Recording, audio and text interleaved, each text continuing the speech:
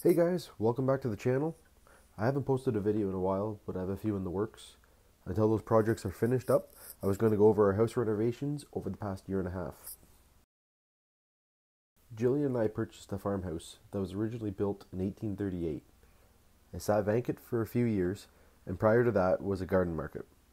There was a lot of fallen down greenhouses, brush, garbage, and various other things to clean up, while the weather was still nice to work outside. One of the perks to buying the house was it came with a case backhoe. It was handy for landscaping, such as pulling stumps, moving rocks, and leveling dirt. Jillian even ran it around the yard to pull some trees. Once the weather turned, we made our way inside for the renos. At the time, we both had the idea to film it for a YouTube series. We didn't make it very far due to time constraints, but here are a few clips that we took at the start.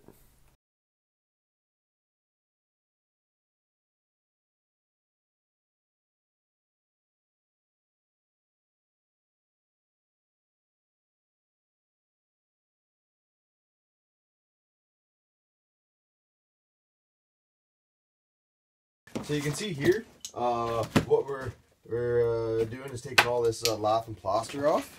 It uh, it crumbles away pretty quick. Um, the fact that it does crumble makes it hard to clean up. As you can see, the floor is just littered with it. Um, so we will have to come up with a, a, a chute into a dumpster. Maybe we can uh, come out of one of the windows with a wooden chute and um, slide everything out of it that way once our dumpster arrives. But uh, you can see the old uh, lath, all the wood. They uh, basically nail it solid, solid, um, solid wood right to the um, right to the rafters. But uh, definitely not a common uh, a common building pattern today. So here's where we're at today. Um, the plan for the house is to go right from the top, right from the roof, right to the basement. Um, so for, in order to do that, everything has to come out. Um, you can see the top of the stone wall there. But you come over here, and you see why. There's no insulation between the old stone wall and the lath and plaster. So by ripping everything down, it'll give us basically a brand new house inside an old stone house.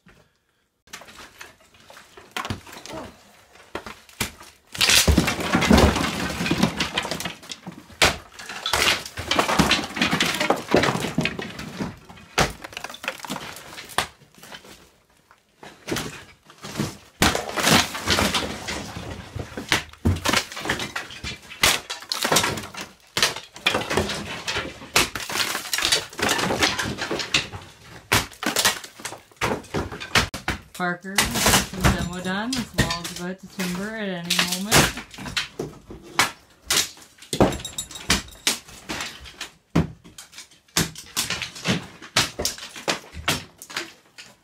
And uh, Parker's mom, Darlene, uh, walking taking the wall out as well. Hmm. This one goes So this is the one room in the house we're actually planning on keeping. Uh, we really like the natural charm of it. Um, however, the one thing that's still got to go is the carpet. After we got started, we were eager to keep going, so we missed a few photos along the way. This is now the remainder of the first floor. 180 years ago, logs were milled flat and then used as floor joists. After supporting the floor for that time, they had a big bow in the middle and started to dry rot.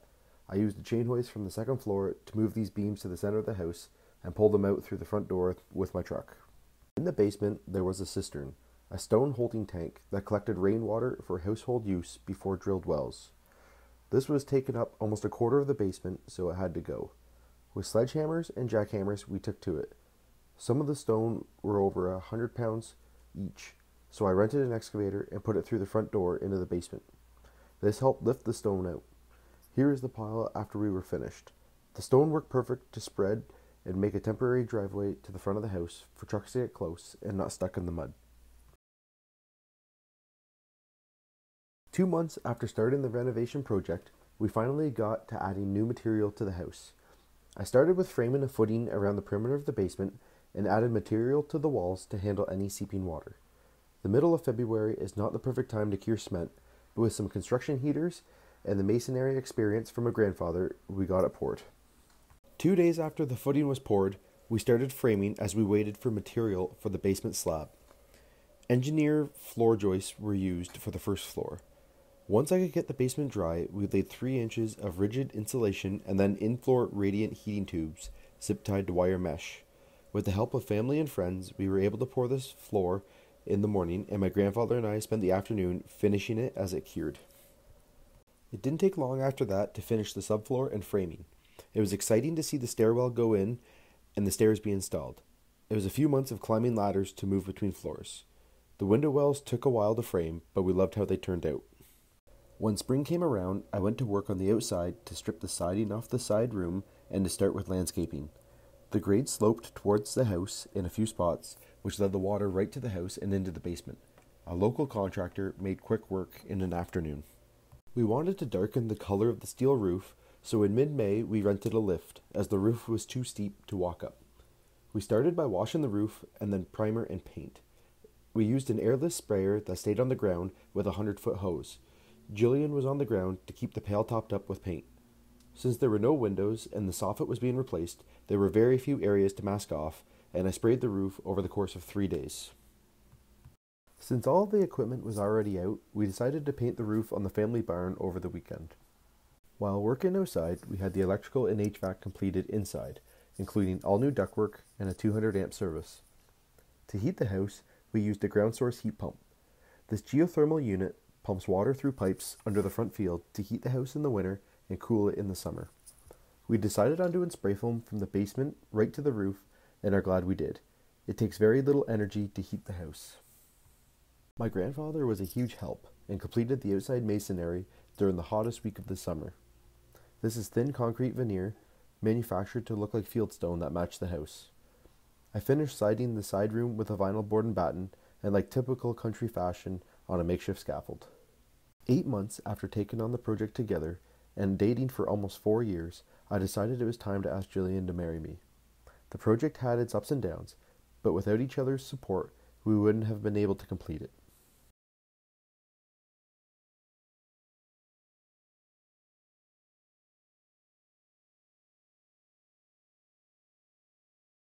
We got married just over a year later at the family farm.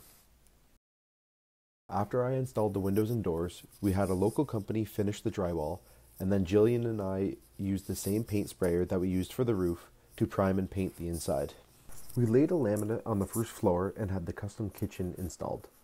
The double wide fridge and freezer is amazing and saves having a deep freezer in the basement.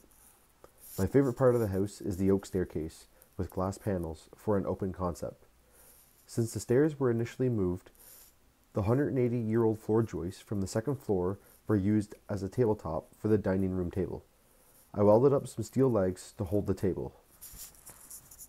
The last step outside was to install drains for the eaves trough and finish the landscaping. I rented an excavator for the weekend to lay gravel on the driveway and to build a road to the shop. In total, we had over 10 triaxles of 3 inch and 5 8 minus gravel. Buckwheat took the excavator for a drive, and we made a rock garden at the end of the driveway. While Jillian was gone for the weekend, I surprised her with a patio. The base was packed, and I rented a stone saw to cut the patio stones into a neat shape. Thanks for making it to the end of the video. It was definitely a big task, and I would like to thank the love and support from friends, family, and of course my wife, Jillian. As a bonus, I included the progress of the shop as we painted it, installed an overhead door, and a car hoist. Thanks for watching, and stay tuned for some more videos.